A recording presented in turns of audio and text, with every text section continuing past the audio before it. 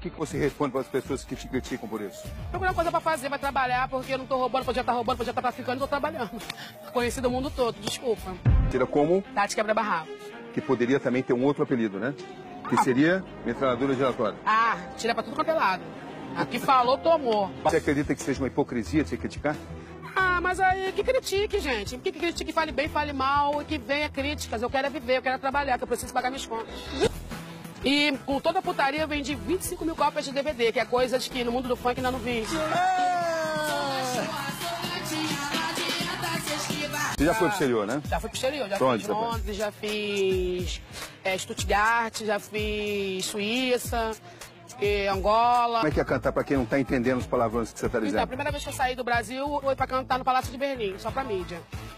Sei. Então isso aí gerou uma polêmica, porque a galera falou tanta gente importante pra ir, uma Ivete Zangalo, não sei quem, que levou a Tati a barraca, porque infelizmente só nas Mais uma vez você incomodando. É, entendeu? E quando eu saí do palco, começou todo mundo a gritar, eu também tava entendendo.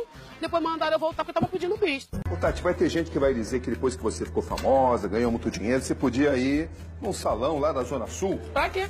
O que adianta só pagar nome, salão, chegar lá, não sabe fazer nada? Você não muda. Não, porque a Zona Sul só tem nome. Às vezes a gente vai pagar caro no salão, chegar lá um pé, 80 reais. Era barriga tampando xereca, peito tampando barriga. Hoje, né, né, que é tudo, né, tudo Tudo em cima. isso, tudo no todo lugar. O pessoal gosta. Eu acho que sim. Quem tá comendo não tá reclamando.